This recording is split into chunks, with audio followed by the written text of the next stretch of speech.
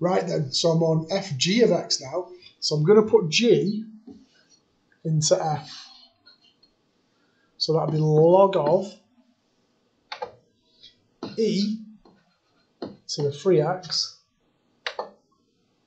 plus 2. Now think about your log laws. If it was 2e to the 3x with the log, I could do something with it. But because it's that, because it's e to the 3x plus 2, I can't do anything with it. So I can't split that up. That has to stay as it is. Uh, if I do g of f of x, I'm going to put f of x into it. It'll be e to the 3 lots of log x plus 2. Uh, now that I can do something with, because I can take the 3 up as a power. So I've got e to the ln x plus 2 cubed, and then the e and the ln cancel. And I've got x plus 2 cubed on its own. Look at that, that's just ridiculous. It's got fractions in fractions. That's just bonkers. Right, let's have a look at this one then. Oh my word. So we're going to do f of g. So we're going to put g into f.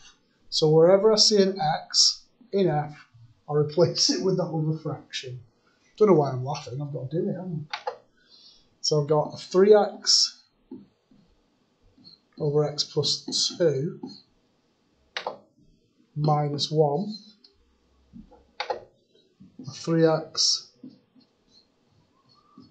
over x plus 2 plus 5. Now what I can do is I can combine the top as a single fraction, I can combine the bottom as a single fraction, and they'll have a common denominator, each of them of x plus 2, and then I can flip it and times it. But remember, we've done this before, there's a little cheaty way of doing it, and that's to times the top and the bottom by the common denominator. So if I multiply the top by x plus 2, the x plus 2 on the bottom will cancel out. So I've just got a 3x, and I got minus 1 lot of x plus 2.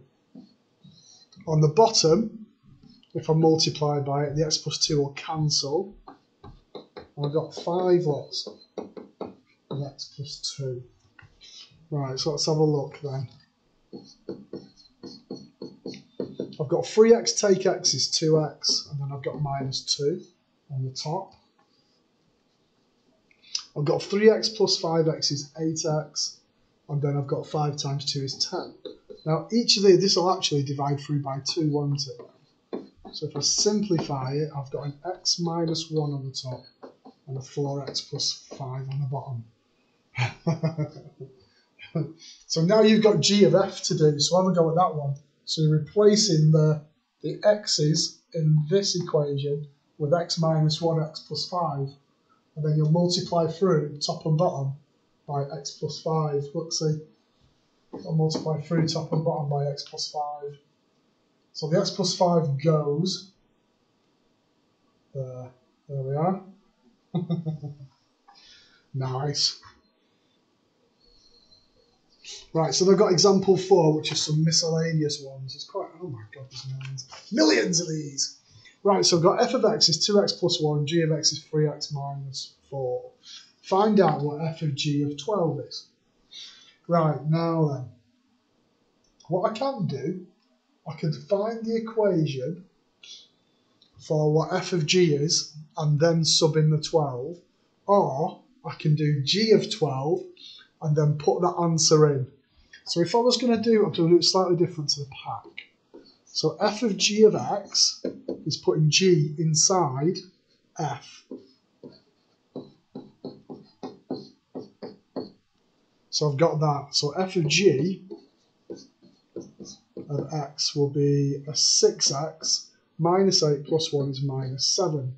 And then if I try x is 12, so that's going to be f of g of 12, it's 6 lots of 12, which is 72, minus 7 gives me 65. Whoops, of g of 12 is 65. What the completed pack was, it stuck 12 in there, which gave out, what's that going to be, 12, 24, 36, 32. And then what it did then is take that 32 and stick it in there. so there you are. Right, so the next one, we solve f of g of x is equal to 17. So I know that f of g of x is 6x minus 7. Random, my computer seems to be slower than my, what I'm writing. There's a bit of a delay. So 6x is 24, x is 4. There we go, so we've done some solving ones. That's alright, isn't it? Oops. Then, so example 5. So I've got x squared for f of x. I've got 3x plus 1. So I've got to find the values of x such that they're equal. the f of g of x is equal to g of f of x. Oh my word. Right then, so f of g of x. So I'm putting g into f. That's 3x plus 1 squared. g of f of x is putting f into g. So that's 3 lots of whoops, x squared plus 1. So there are my two composites. So f of g of x equals g of f of x. So I'm saying that 3x plus 1 squared is 3x squared plus 1. So I'm going to have to expand my brackets here, aren't I? So what have I got then? So I've got 9x squared, 6x plus 1 is 3x squared plus 1. I've got 6x squared plus 6x is 0. I can take out 6x as a factor. So then that gives me 6x is 0. So x is 0, going back to GCSE. x plus 1 is 0. x is minus 1. There. Perfect.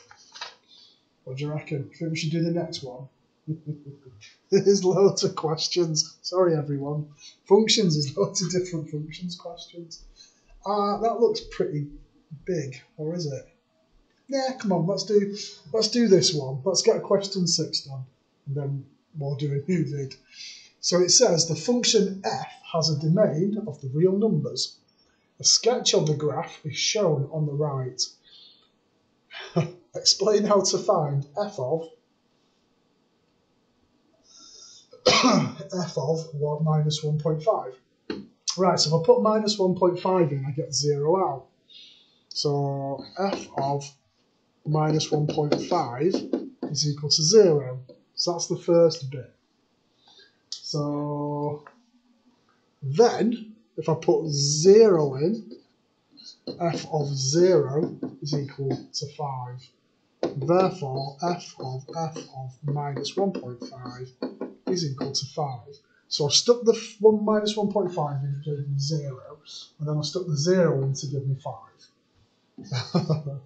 so f of f of 0, right then, so let's go, so f of nothing is 5, and then f of 5 is 7. So f of f of 0 is equal to 7. So I stuck in the 0, it gave me 5, and then I stuck in the 5, it gave me 7. I don't know if that kind of makes sense. I'm definitely stopping there though. Uh, oh no, shall we? Oh yeah, go on, we'll stop there. Want to be short.